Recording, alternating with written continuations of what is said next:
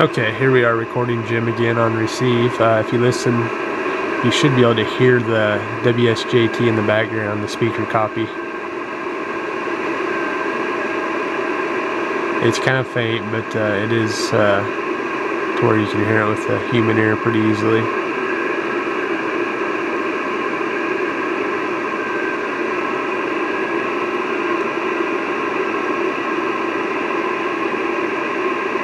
Okay, the sequence is over and we're going to go into transmit. So I'll just take you up to the watt meter here and we'll, this thing will kind of spike. I have it set to alarm me when it uh, spikes. So, and we hit a spike, a couple spikes.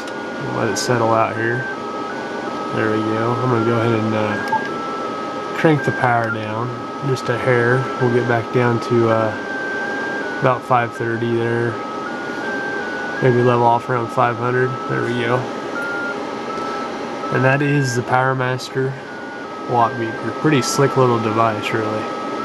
And you can see my SWR of 1.05 to 1, so. And I have it in uh, fast mode. Let me, there's medium, it holds the peaks just a little bit longer. There's slow. There's long. I think those are like five seconds that holds the peaks. Then you got your uh, VSWR mode there. And back to receive. We'll see, uh, both of our computers are synced to the internet on time, so there he goes, he's right on time. You can hear his uh, signal there in the background. And the amp over here is cooling down. Uh, you can hear the fan on the PA going.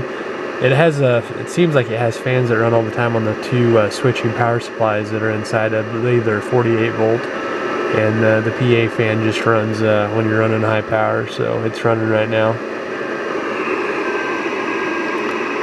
And if you can hear, uh, I'll, I'll be quiet here, but uh, listen for uh, KM5PO's signal there.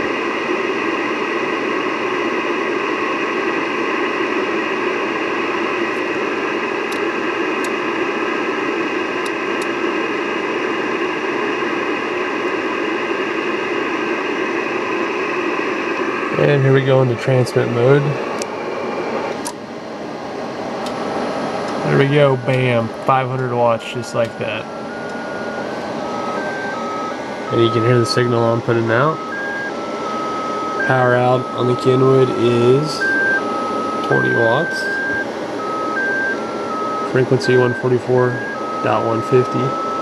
And uh, Jim and I are both using Kenwood TS2000s. He's running QRO at uh, right at 1500 watts, but uh, uh, our frequency stability on these two radios is really, really solid. Uh, looking on the WSJT software, our frequency has barely moved at all. It's, uh, know, let me look here. Yeah, we're holding numbers within one to two, so it's these radios work really well for WSJT. Yeah, let's see if we can hear his uh, signal come back here. Okay, he should be hitting the transmit now. Yep, there's his signal. Takes a little bit to bounce it off the moon and get back here.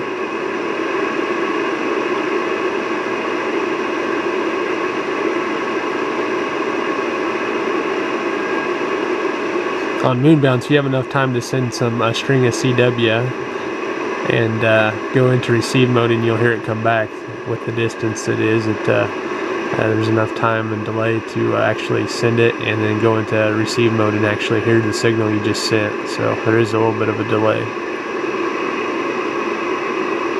And his last call was neg 13, so his signal is actually coming up a little bit on this side.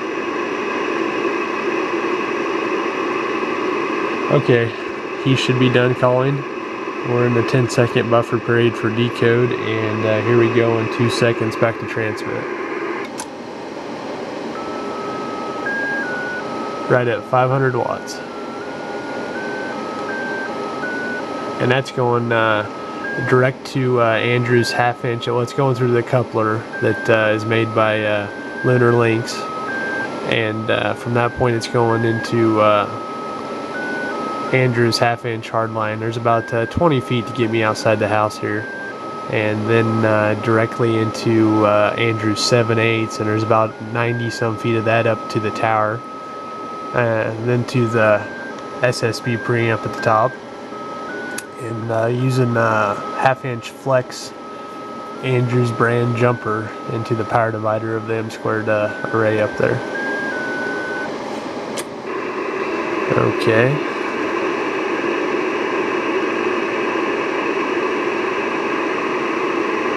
He should be transmitting now. So let's see what type of delay we have here.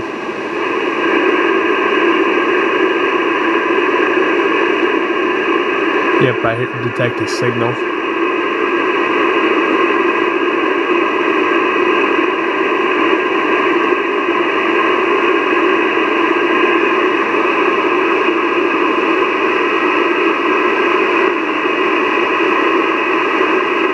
I'll try Okay,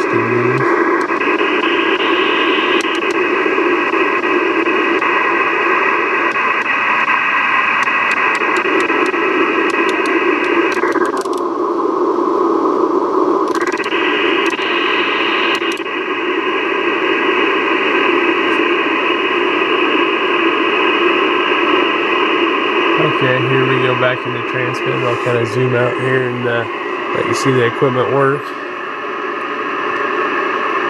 right now.